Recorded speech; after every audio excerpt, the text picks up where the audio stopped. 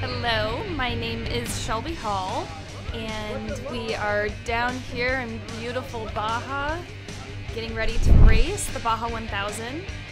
And this year is pretty epic, it's super special.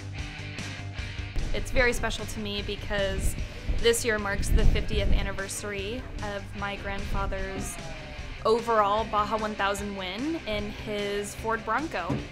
So I'm super pumped to be racing the Bronco R. It is so cool for the whole industry.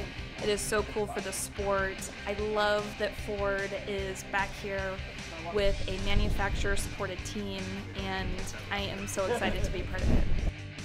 We have such a phenomenal team of drivers.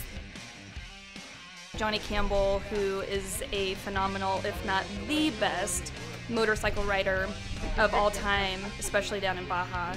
We have Cameron Steele, who won the Baja 1000 last year.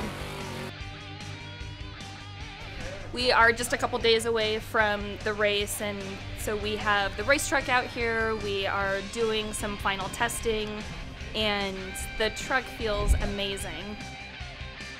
It feels really good to get in it, get the seat adjusted, just figure everything out and take it for a spin. I've been dying to drive it. I've been down here pre-running and just keep imagining and thinking about how awesome this truck is going to do and just what an adventure we are about to take on.